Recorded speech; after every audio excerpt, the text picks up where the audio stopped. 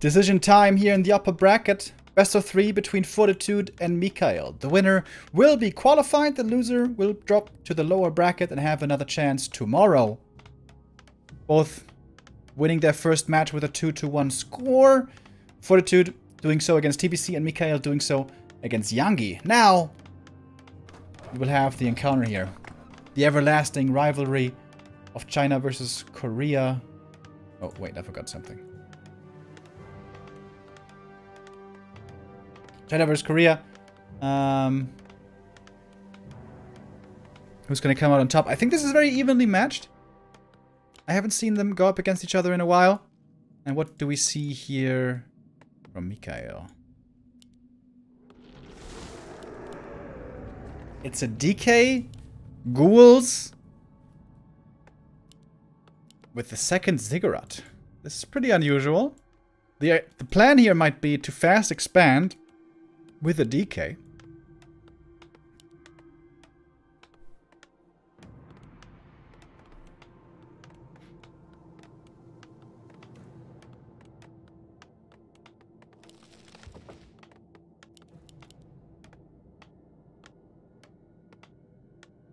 Alright, Archmage first, of course, by Fortitude, playing this pretty standard, going for a small militia creep at the beginning, scouting with a footy, wants to find out what he's facing. Could be Cryptlord expansion, could be Ted Fiends, or a more unconventional build like this one. DK with ghouls and backpack.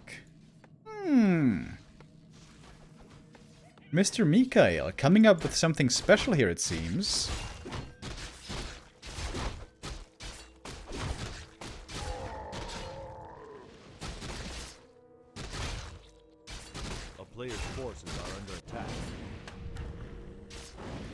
He doesn't save the Acolyte from the early game, which means he may not be expanding.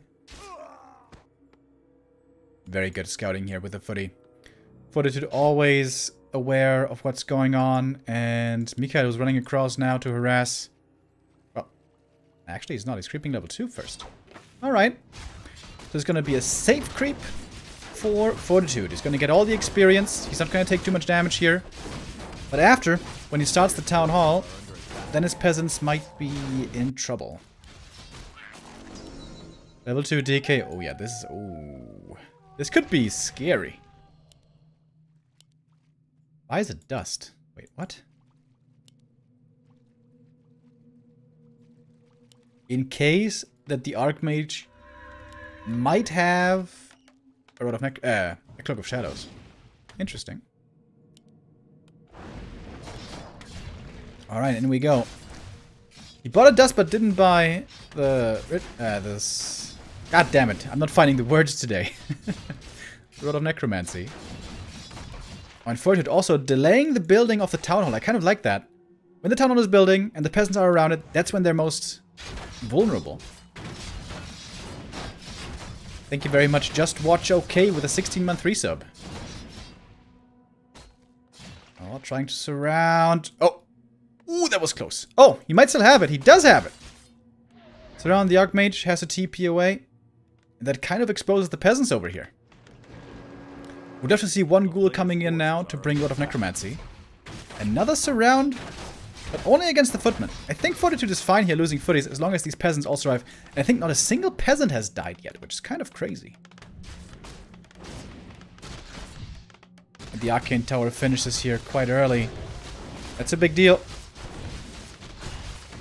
Probably now a few ghouls are gonna go down. One ghoul falls. Two peasants die in return. But it's only two peasants dying in the early game. This seems to be totally fine for Fortitude. However, lumber is looking rough. No lumber bank at all here. As the expansion finishes, tier 2 is going to take quite some time still. MichaeL's tier 2, on the other hand, also wasn't the very fastest. Not as fast as with Ted Fiend build. Oh! Oh, by accident he dropped a Rod of Necromancy here. He wanted to bring one over to the DK earlier, but for some reason, somehow it landed here. Oh, that's a shame. Imagine, after he forces the Archmage to TP here, if then he can harass with more skeletons against the peasants.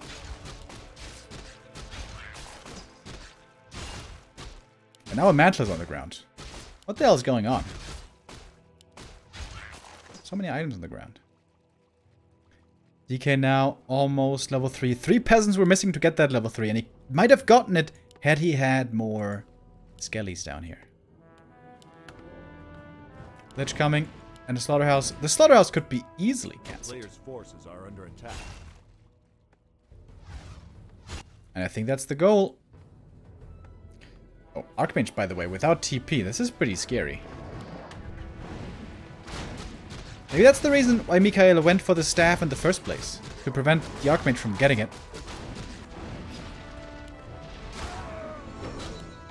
DK gets level 3. All ghouls for now survive. But yeah, the thing is, it's only ghouls.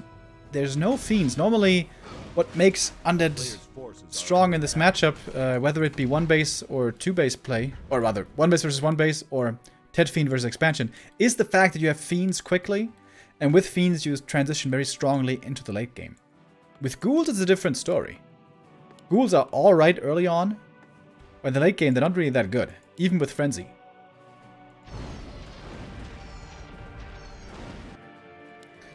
I think this game is starting to look better and better for Fortitude. Tier 2 now halfway through for him. MichaeL's still no Slaughterhouse. That really hurts.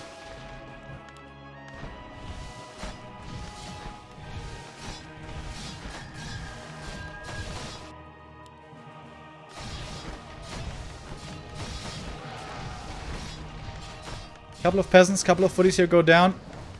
But it's all just still completely fine. Blacksmith coming up. Early blacksmith. Does that mean he wants to go rifles? Not necessarily. May just want to make the building here to fortify the base. Blacksmith has a ton of HP. Way more than a shop. Oh, nice surround. But there's a staff. Oh. Alright, use the staff now. A player's forces are under attack.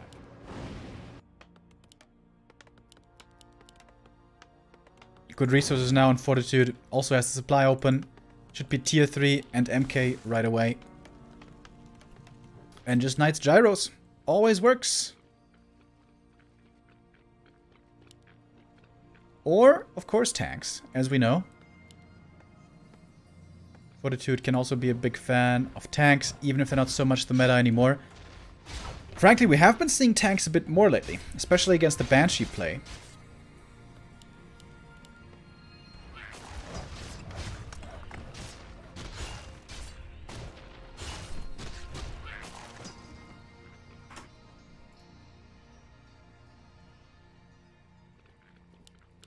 Is Fortitude romantic? Yes.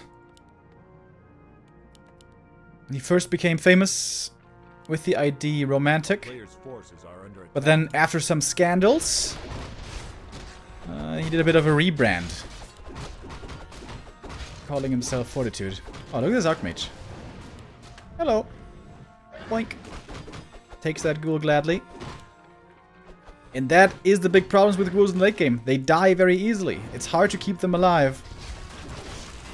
Unlike fiends, which you can keep alive pretty well between aura, coil, and statues, and with them having high HP and long range. Mika is really struggling here.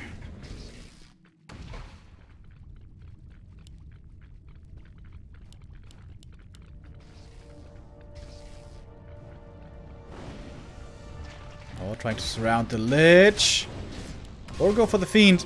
There's a mana potion. It's gonna pop, pop the Book of the Dead as well. The Fiend still falls. One Nova is available. Footies are going down, but that's what the footies are supposed to do.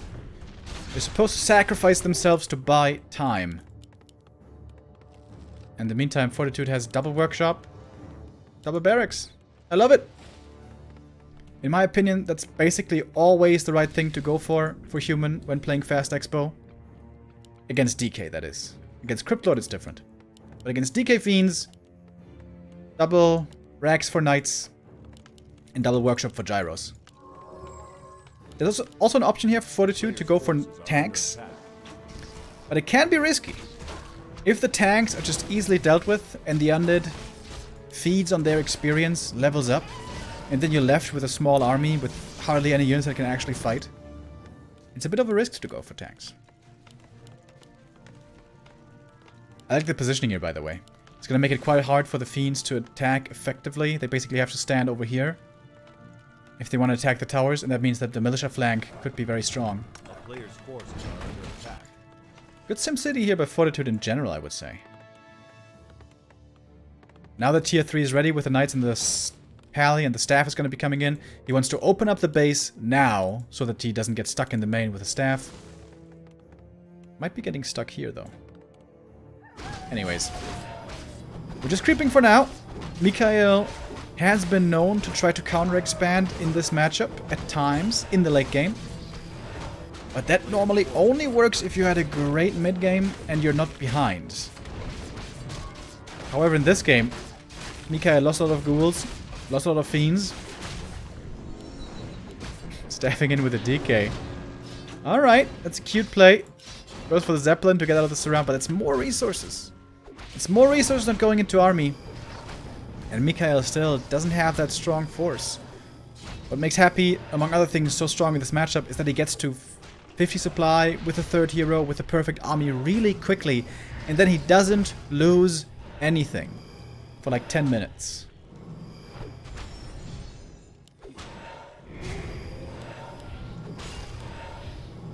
Heroes, though, for MichaeL are looking pretty good. Level 4 and 3 is actually really good. The problem is, however, the army that accompanies the heroes. Thinking about a counter expansion here with the Acolyte Lumber at the moment, the problem. But the Scout just perfect by Fortitude. This is just a A player's super solid game by 40.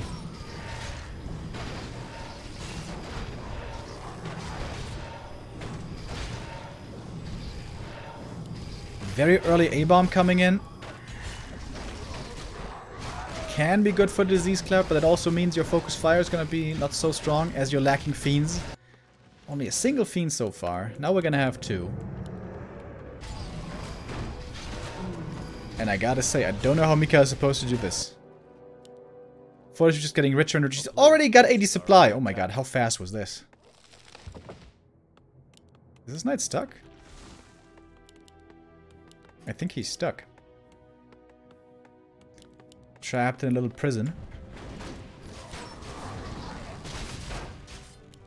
And look at that damage on the knights. As we know, against medium armor, extremely strong. And it takes a lot of great micro.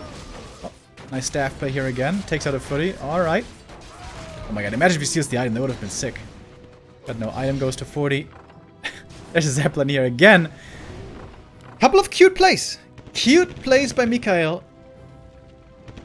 But in the grand scheme of things, what you need here is, you know, solid timings, good harass, and excellent micro. Oh, dodges the Stormbolt. Here we go. Speaking of cute plays. But Lich is still hurt. And Lich might be dead. Oh, MichaeL, though, TPing out last second, trying to save a second hero. Whew. That was close. Less than 50 HP right there. Player's forces are under attack. And now we see the expansion coming up for the undead.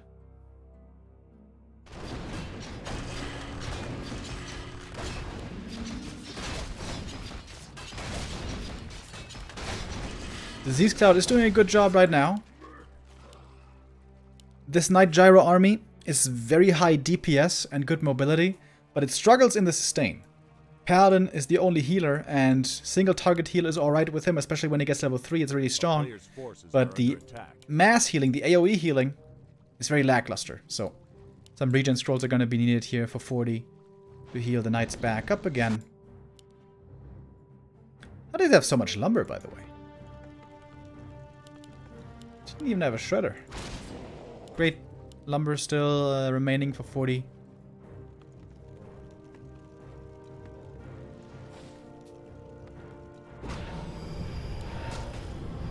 DK close to level 5. Is he going Banshees happy style? Nope. But the expansion is about to finish. The game is not totally lost for MichaeL yet. If he holds on for another 5 minutes, maybe he can do it with the economy of the expansion. But holding on for that long, it's not going to be so easy. Focus fire on the Lich. There's gonna be another coil. Mana potion was used. Doesn't have an orb of fire yet, by the way. I don't know if that's a deliberate choice or if he just forgot about it. Normally, you really want to have an orb. It adds up so much damage over time. MK had to be staffed out. The nuke against him is still dangerous. But the knights on three attack upgrades. I want to see when they look at look at the when they attack a fiend. Wait a minute, where is it? Alright, this fiend is almost dead already. Well, everything for Mika is basically dead already. Fortitude still at 80 supply. He's got the third base coming up. Towers, hell yeah, why not? And now he can take out the undead expansion, and that is player's forces are under attack. a shellacking. Fortitude just in charge this whole game. As I've said for some time now, this is the best that Human has had it in this matchup for a long, long time. This matchup, of course, was undead favored for many years. But I think this time is over. I think it's either 50-50 or human favored nowadays. Even if Todd will not believe me, I really think uh, the times have changed. 40 gonna TP out before he loses too much. Oh my god, he's so rich.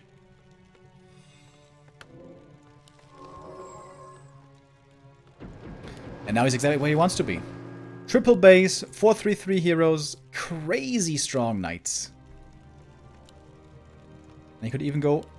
Dude, he's still not buying an orb of fire. 40. What the hell?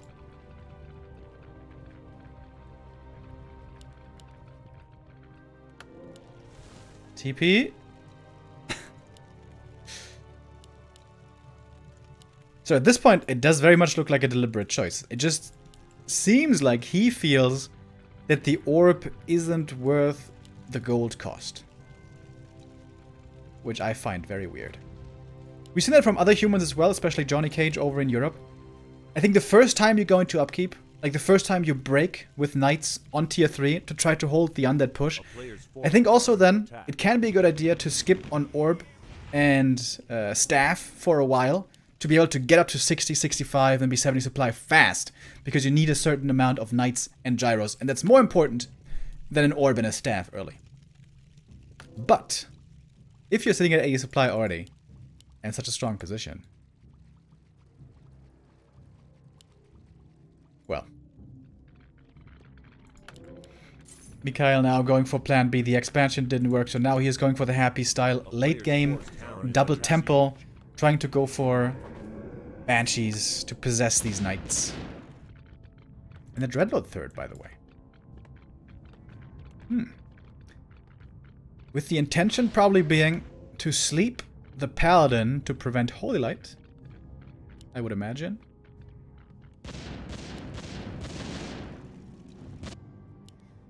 Forty could easily go to 100 supply here if he wants. Player's forces are What are these boys attack. doing? Militia?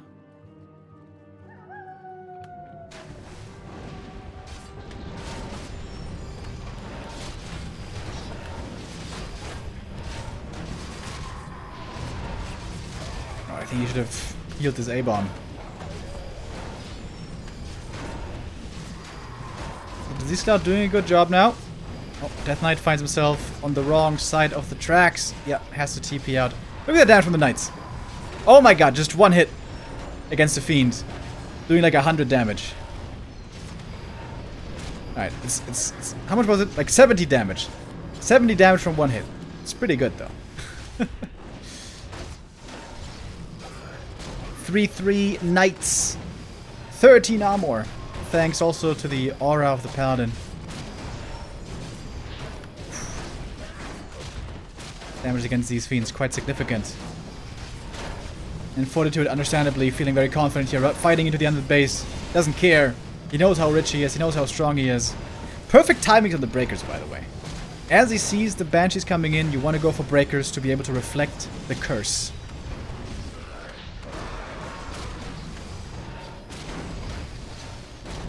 I think he's just cleaning up.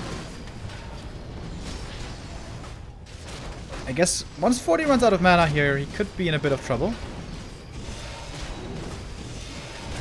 Before that happens, the Dreadlord should be falling. We should have some more mana on the Mountain King.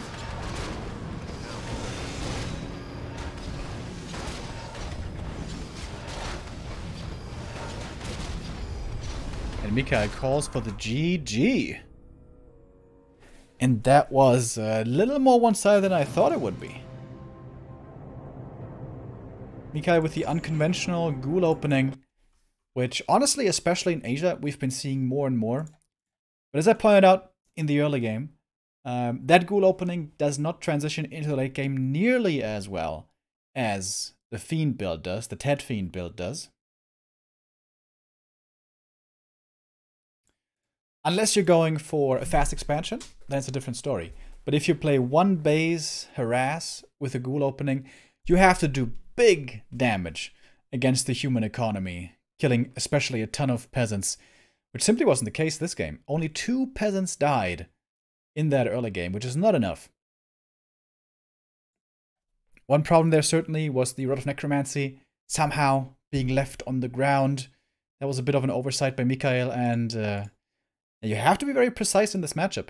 Whether you're playing DK Ghouls or whether you're playing uh, Ted Fiend build, you have to be really precise with your harass. You have to slow down the human because, as we saw, once the human gets to 80 supply knights gyros, and if on top of that he even has strong hero levels, it's very hard for Undead to fight that.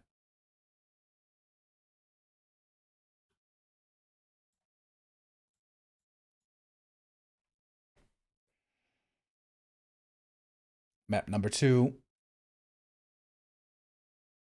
Might be a better one for MichaeL, especially if he wants to play this ghoul aggressive style again. There's some really good maps for this. Amazonia, amazing for that style. Also Concealed Hill, absolutely tremendous. Other than that, though... Other than that, the expansions are pretty safe to creep. Question, of course, is what the vetoes are. I am not aware of what the players vetoed, but it would be safe to assume that either Concealed Hill or AZ was vetoed by Fortitude.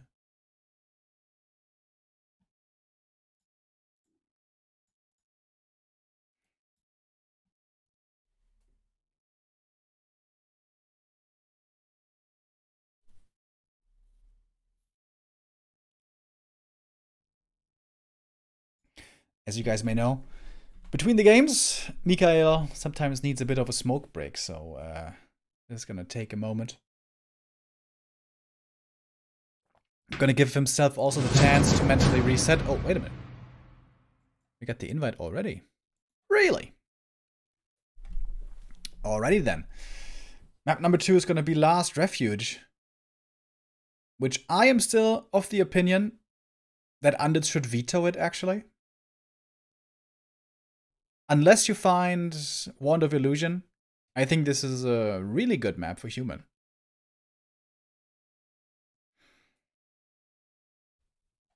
But we'll see.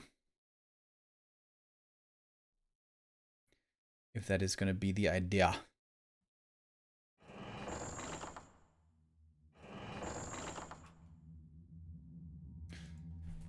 Map number two. MichaeL trying to shrug off the loss of the first map. Didn't even take a smoke break. That's kind of unusual for him, to be fair. Is it going to be the same strat again, or are we going to see something different now? MichaeL starting in the top right. With the ghoul opening again. Alrighty. Could also mean Crypt Lord.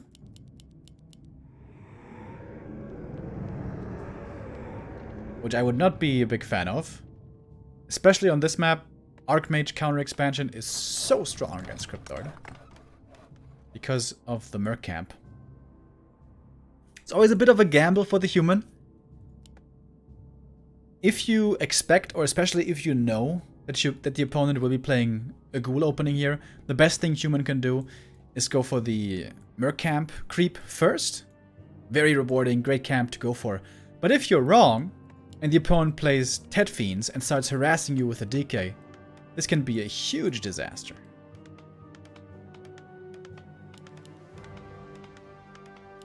The first scout footman is going to tell us a lot.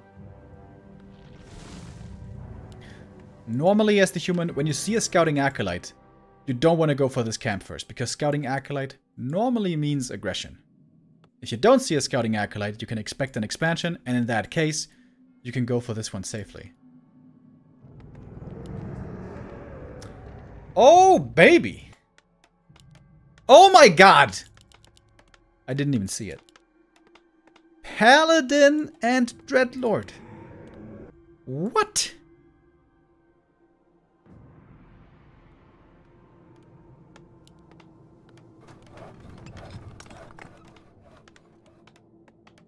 A player's forces I can kind of understand the Dreadlord. You know, come in with a bit of a surprise, try to go for the fast expansion, and then try to cheese out the game with sleep surrounds and a lot of economy. But Paladin. Like, when is the Paladin ever better than an Archmage?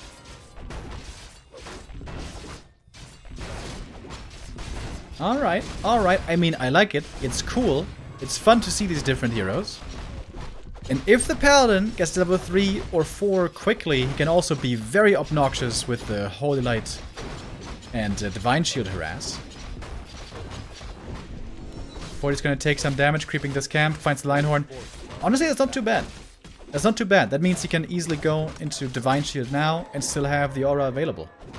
Of course, it's a bit weaker of an aura with 1.5.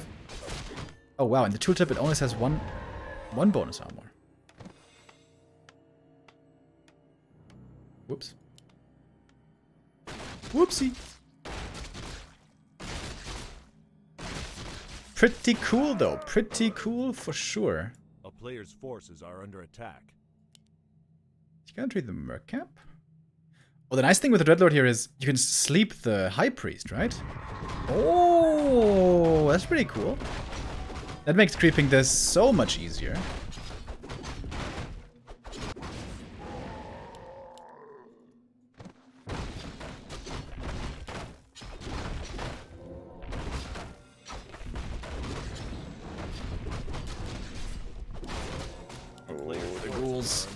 All pretty close to dying, but I guess they just barely survive. Expansion isn't coming up yet. MichaeL perhaps mismanaging his resources a bit. This narrow tower in the main seems like a bit of a waste.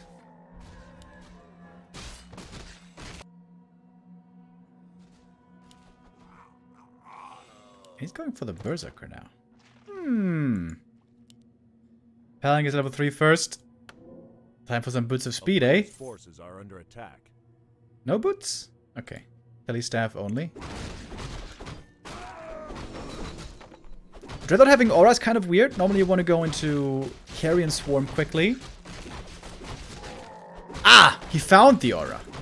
Ah, okay. That's why I was confused. Alright. Good item then also for him. Oh, it's going to be a TP force. What? He has Divine Shield, actually. Alright. Alright. Trying to hold this around. 15 seconds, though, on the Divine Shield. Oh, gets the Shadow Priest. That's a big deal.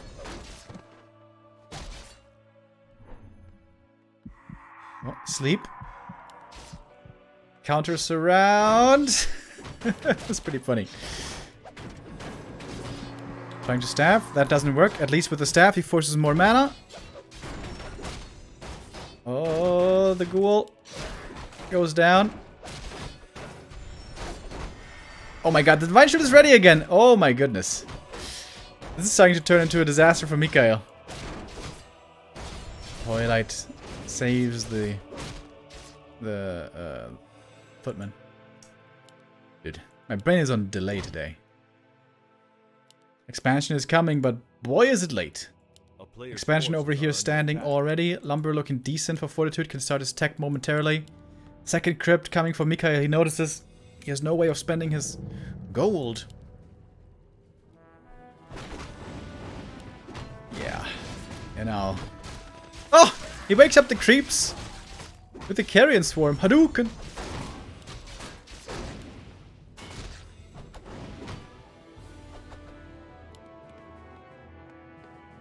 Forces Tech. are under attack. And then 42 is gonna be looking good.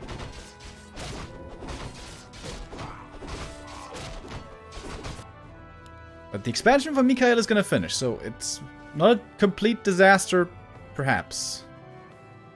A town is under siege.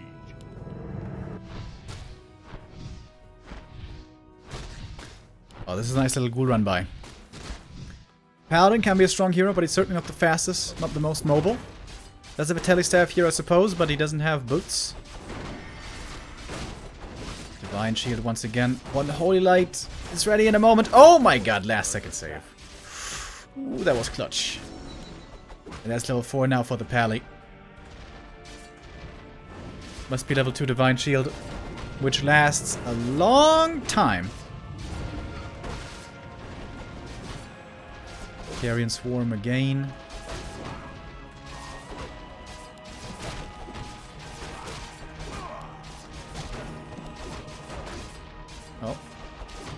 Dreadlord. Trying his best. But he's low HP now. Doesn't have an aura here to heal him up. What he needs is Sacrificial Dagger. Ritual Dagger. Oh, got a Mud Golem. That's pretty cool. But the next Divine Shield is ready. Oh, and so is the Holy Light. This Paladin is working out pretty damn well. And MichaeL in all sorts of trouble. 25 supply for him, only going for all the mercs that he can. But just dealing with footies is proving to be very problematic.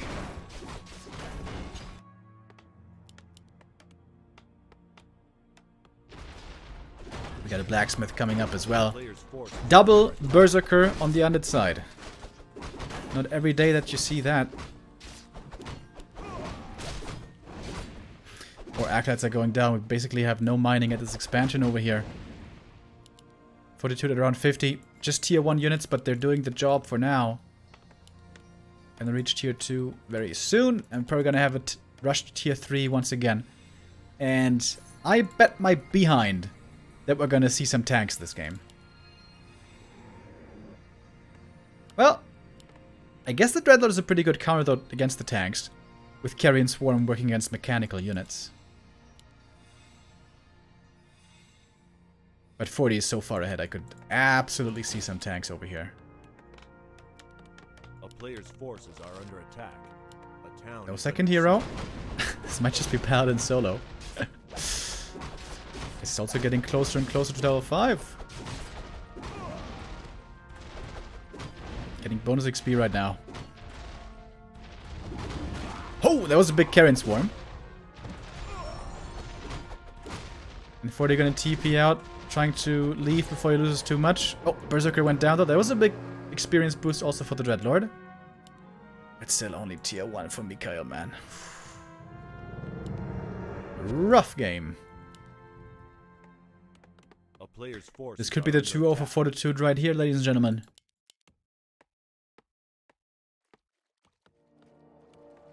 In fact, it's looking quite like it. Oh, Griffin Aviary, actually. Alright. Also a fun strat. Not as fun as tanks, perhaps. At least, you know, for Fortitude. If he wants to build a real army, I think he's gonna need a second hero, though.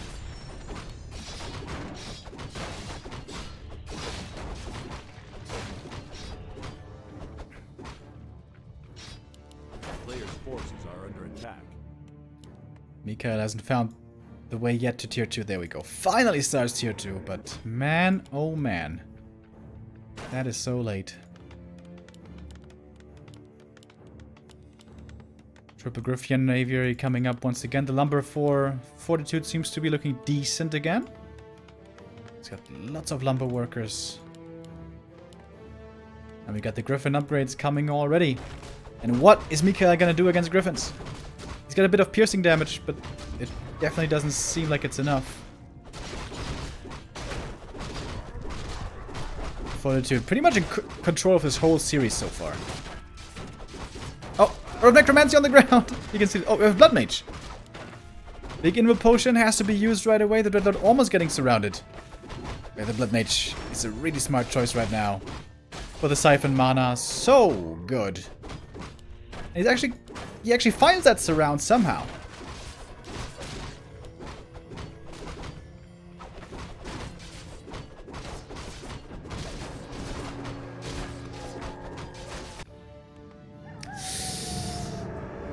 Teep it into the corner. Has to unsummon.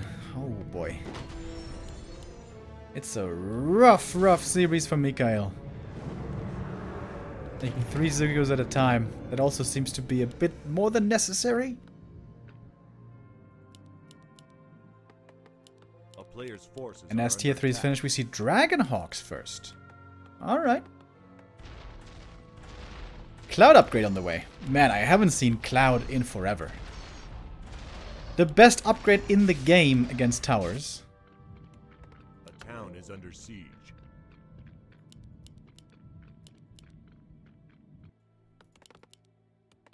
And it's just Dragonhawks. What the hell? He's not even making any Griffins. Just Dragonhawks. Paladin about to hit level 5 over here. And there we go. Cloud! Seriously, I haven't seen this in so long. Very, very effective. Problem against Undead usually is Dragonhawks are complete garbage because of fiends. But in this weird game, uh, it does work out, I guess. Footies are gonna be going down, but Fortitude is getting a lot of value out of them while he can. Oh, last second heal potion. Oh my goodness. One more sleep comes through. But uh, that seems to be the last one here for a while. Ogre Mauler goes down. More experience. Going to Fortitude and the Chinese player looking absolutely in control of this game. No question about it.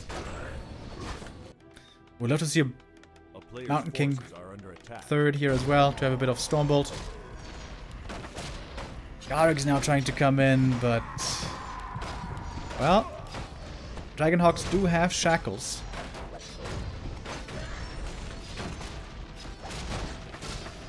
If the Garrick's can completely outnumber, they can do it, but it's just so many Dragonhawks.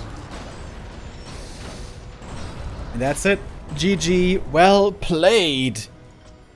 And the game goes to Fortitude. Fortitude moves on in the upper bracket. Our first qualified player for DreamHack Winter Asia.